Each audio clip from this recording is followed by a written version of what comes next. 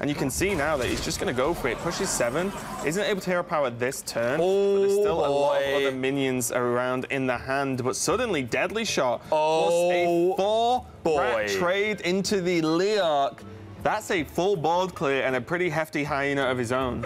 Wait just a minute. That is a quadruple trade, a quadruple buff on the hyena, and then the biggest deadly shot of Rylox's Hearthstone life.